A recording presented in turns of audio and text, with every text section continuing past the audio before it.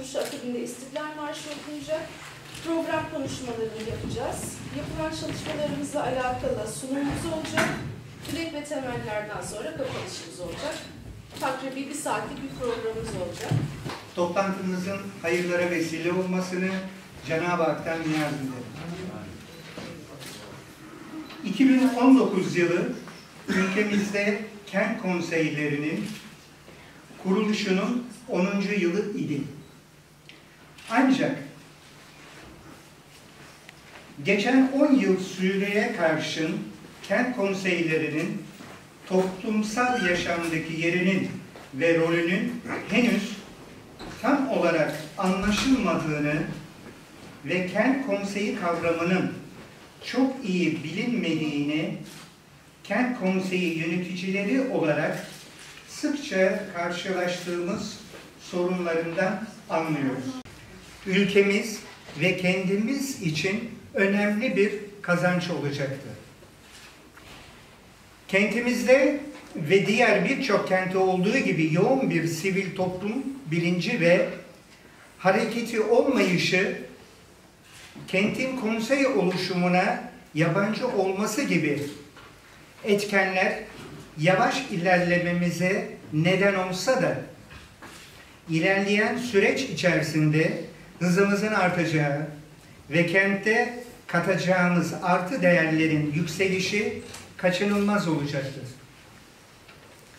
Her sorunun yeni sorunlara yol açacağının ancak sorgulanmayan hayatın da anlamsız olacağının bilinciyle konuşmama e, son vermeden önce gene birkaç konuyu hatırlatmak istiyorum.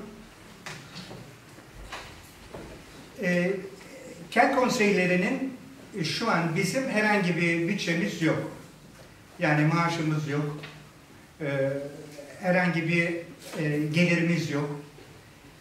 E, bu konuda bize belediye başkanımız sağ olsunlar ziyadesiyle bize yardımcı oluyorlar. Ama e, gel görelim ki e, belediye de büyük bir borç, borç batağının altında.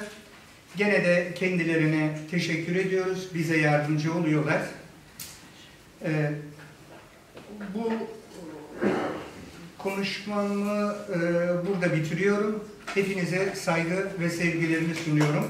Hepiniz hoş geldiniz.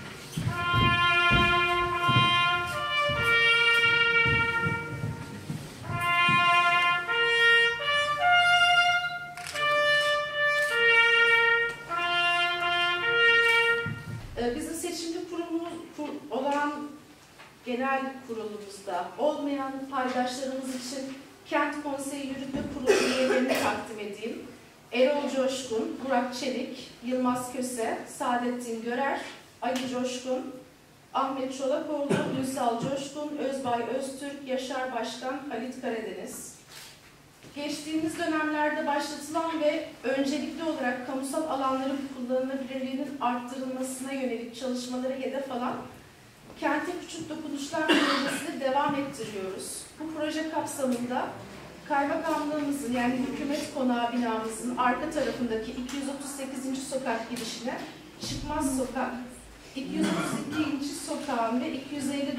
sokağın kesiştiği nokta Emniyet Müdürlüğü'nün önü ile Şehit İbrahim Yüksel Caddesi'nin bitiminde sahil eczanesinin önüne hastane ve kamu kurumlarının bu güzergahta bulunmasından dolayı korna çalmak yasaktır levhalarının konulmasını talep ettik. Çıkmaz sokak tabelamız asıldı. Hükümet konağının arkasında 238. sokağa. Diğer talep ettiğimiz klakson çalınmaz levhası da ağacın ön kısmına yerleştirildi. Biz de camimizin olduğu yerde, eczanelerin olduğu yere de yine kamu kurumlarına ve ibadethaneye yakın olduğu için bir dilekçede bulunmuştuk.